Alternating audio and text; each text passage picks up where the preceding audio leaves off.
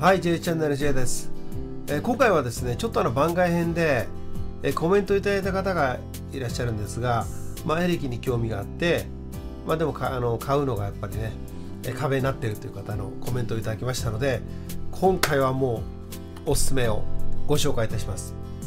えー、まああの以前紹介しましたサウンドハウスというところのプレイテックというギターエレキですね。これですね5980円です、えー、こちら。はい。えー、これがですねまあそこそこですよ。はい。もうそこそこいい感じです。はい。どうですか？5980円。1回飲みに行くの我慢したら買えますよエレキ。はい。でえー、あとはと言ったらアンプがいるんでアンプを買えば8980円。アンプ込み。ね。素晴らしい。でまあちょっとプレイテック無名なんですけどね。まあそこそこの。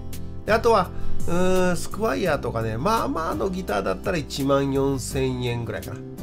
1万4000円ぐらい。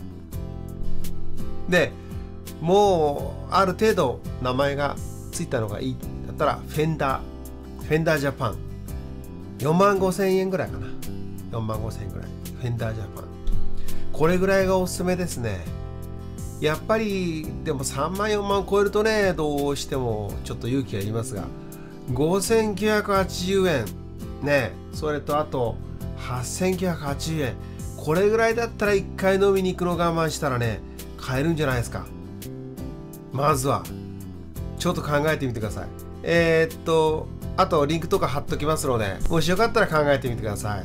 ということです。はい、J チャンネルですね。今日はエレキの、えー、お安い情報。あ、もう一つですね。